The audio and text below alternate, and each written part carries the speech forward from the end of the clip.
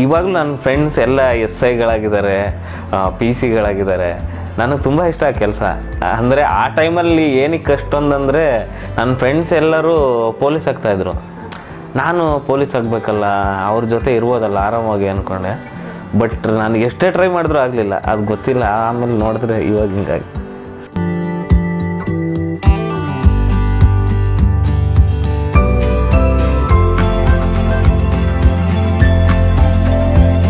ನನಗೆ ತುಂಬ ಖುಷಿ ಆಯಿತು. ಅಲ್ಲಿ ತುಂಬ ಕನ್ನಡ ಗೊತ್ತಿಲ್ಲದೆ ಇರೋರು ಸಿನಿಮಾ ಆಲ್ಮೋಸ್ಟ್ ಎಲ್ಲ ಸಿನಿಮಾ ಆಸಕ್ತರೆ ಅಲ್ಲಿ ಬರೋದು. ಅದರಲ್ಲಿ ಹೌಸ್ಫುಲ್ ಆಗಿತ್ತು. ಅದು ನಂಗೆ ತುಂಬ ಖುಷಿ ಆಯಿತು. ಅಲ್ಲಿ ಕರೆದ್ಬಿಟ್ಟು ನಮ್ಮ ಬಗ್ಗೆ ಒಂದು ಡಿಬೇಟ್ ಮಾಡಿದ್ರು. ಏನಕ್ಕೆ ಈ ಸಿನಿಮಾ ಮಾಡಿದ್ರಿ? ಏನಕ್ಕೆ ಈ ಕತೆ ಬರೆದ್ರಿ ಅಂತ. ಅವಾಗ ನಾನು ಹೇಳಿದೆ, ನಮ್ಮಪ್ಪ ಅಗ್ರಿಕಲ್ಚರ್ ನಮ್ಮಪ್ಪ ಓದಿಲ್ಲ. ನಮ್ಮಪ್ಪನಿಗೆ ಒಂದು ನೋವಿದೆ, ನಾನು ಓದಲಿಲ್ಲ ನಾನು ಕಾಲೇಜ್ಗೆ ಹೋಗೋರು ಫೀಸ್ ಕಟ್ಟಬೇಕಾದ್ರೆ ಕರೆಕ್ಟಾಗಿ ಓದಪ್ಪ. ನಮ್ಮ ಟೈಮಲ್ಲಿ ನಮ್ಮನ್ನು ಓದಿಸ್ಲಿಲ್ಲ. ಓದಿಸಿದ್ರೆ ನಿನ್ಗಿಂತ ಚೆನ್ನಾಗಿ ಓದ್ತಾ ಇದ್ದೇನೋ ಮಾತು ಯಾವಾಗಲೂ ಕೇಳ್ತಾ ಅದನ್ನು ಮೈಂಡಲ್ಲಿ ಇಟ್ಕೊಂಡೆ ಆ ಸಿನಿಮಾ ಕತೆ ಬರೆದಿದ್ದು. ಅದೆಲ್ಲ ಖುಷಿ ಅಂತ.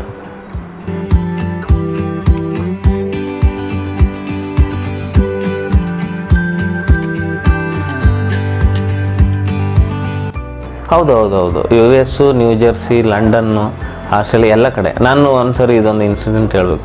ನಾನು ದುಬೈಗೆ ಹೋಗಿದ್ದೆ. ನನ್ನ ಫಿಲಿಮ್ ರಿಲೀಸ್ ಆಗಿ ಡಿಸೆಂಬರ್ ನೈನ್ಟೀನ್ ಹನ್ನೆರಡು ಡೇಸ್ ಆಗಿತ್ತು. ಜಾನ್ವರಿಲಿ ನಾನು ದುಬೈಗೆ ಹೋಗಿದ್ದೆ. ನನ್ನ ಫ್ರೆಂಡ್ ತುಂಬ ಜನ. ಅಲ್ಲಿ ಹೋದಾಗ ಒಂದು ಹೋಟೆಲ್ ಊಟ ಮಾಡಿದ್ವಿ. ಊಟ ಮಾಡಿ ಬರಬೇಕಾದ್ರೆ ಬಿಲ್ ಪೇ ಮಾಡೋಕ್ಕೆ ಹೋದ್ವಿ. ಅವರು ಬಿಲ್ ತಗೊಳ್ಳಿಲ್ಲ. ಏನಕ್ಕಂದ್ರೆ ನಾನು ನಿಮ್ಮ ಸಿನಿಮಾ ನೋಡಿದೆ. ನನಗೋಸ್ಕರ ಒಂದು ಫೋಟೋ ಬೇಕಂತ ಹೇಳಿ. ಅದು ಕರಾಯಿ ಬೀಚ್ ಅಂತ. ಅಲ್ಲಿ ಫೇಮಸ್ ಹೋಟೆಲ್ ಬರ್ ದುಬೈ. ಅಲ್ಲೊಂದು ಫೋಟೋ ತೆಗೆಸ್ಕೊಂಡು ನನಗೆ ಕಳಿಸಿದ್ರು. ನಾನು ಯಾವಾಗ ದುಬೈಗೆ ಹೋದರೂ ಆ ಹೋಟೆಲ್ ಒಂದು ಸರಿ ವಿಸಿಟ್ ಮಾಡೋದು ತುಂಬ ಜನ ಫ್ಯಾನ್ಸ್ ಇದ್ದಾರೆ ಆ ಹೋಟೆಲ್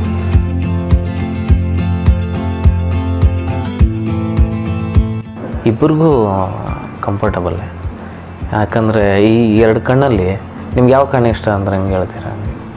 ಯೋಗರಾಜ್ ಸರ್ ಜೊತೆ ಜಾಸ್ತಿ ಟೈಮ್ ಇರಲಿಲ್ಲ. One one and half year spend ಮಾಡಿದೆ ಅಷ್ಟೇ. ಸೂರಿ ಸರ್ ಜೊತೆ ತುಂಬ ದಿನ ಆಯಿತು. ಒಂದು ಆರೇಳು ವರ್ಷ ಸೂರಿ ಸರ್ ಜೊತೆ. ಬದುಕು ಜೀವನ ಅಂದ್ರೆ ಏನು ಅಂತ ಕಲಿಸಿದ್ರು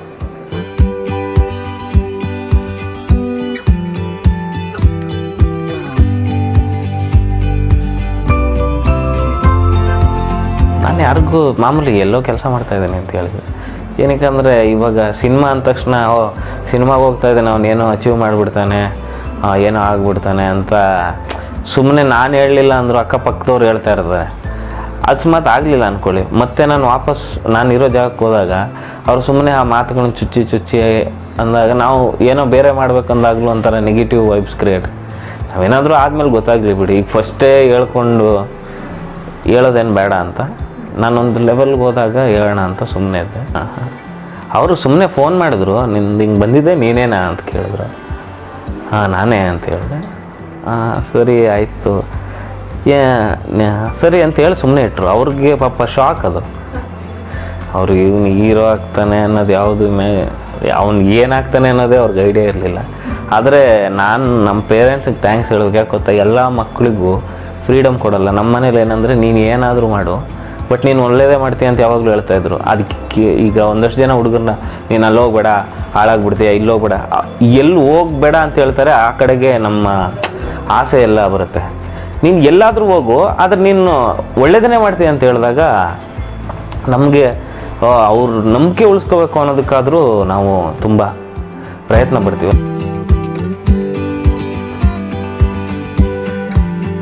ಮುಂದಿನ ಎರಡು ಸ್ಕ್ರಿಪ್ಟ್ ಓಕೆ ಮಾಡಿದ್ದೀನಿ. ನಾನು ಇನ್ನೂ ಅದನ್ನು ರಿವೀಲ್ ಮಾಡೋದಕ್ಕಾಗಲ್ಲ ಯಾರ್ದು ಏನು ಅಂತ.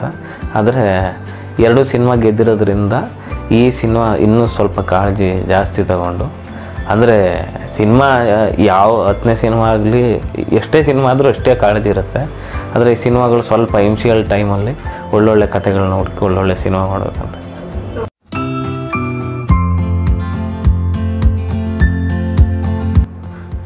ನನ್ನ ಡ್ರೀಮ್ ಅಂದ್ರೆ ನನ್ನ ಡ್ರೀಮೇ ಸಿನಿಮಾ. ನನಗೆ ದಿನಕ್ಕೆ ಒಂದು ಸಿನಿಮಾ ಇಲ್ಲ, ಏನೋ ವಿಜುವಲ್ ನೋಡಲಿಲ್ಲ ಅಂದ್ರೆ ನಿದ್ರೆ ಬರೋದು.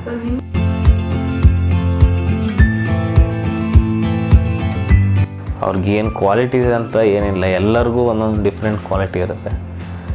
ಹೆಂಗಿದ್ರು ಓಕೆ ಬಟ್ ಏನಂದರೆ ನಾವು ಯಾವುದು ಡ್ರೆಸ್ಸಲ್ಲಿ ಎಲ್ಲೋ ಮನೆ ಬಂದಾಗ ಅವ್ರ ಮುಖ ನೋಡಿದ್ರೆ ನಮಗೆ ಖುಷಿ ಆಗ್ಬೇಕು. ಅಂಥವ್ರು ಇದ್ರೆ ಸಾಕಷ್ಟು. ಹಾಂ ಓಕೆ ಥ್ಯಾಂಕ್ ಯು